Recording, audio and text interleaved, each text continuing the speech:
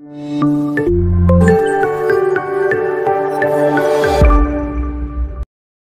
Hello guys ये जो पेड़ को आप अनोखी से बढ़ते हुए देख रहे हो, इस प्रोसेस को इनॉक्सिलेशन कहा जाता है।